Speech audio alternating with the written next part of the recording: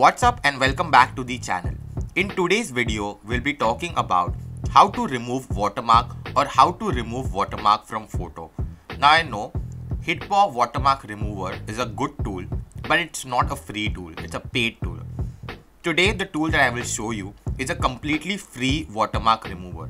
Let's have a quick look how to remove watermark from image. Now the tool or the website I'm going to use today is watermarkremover.io simply click on upload over the image over here.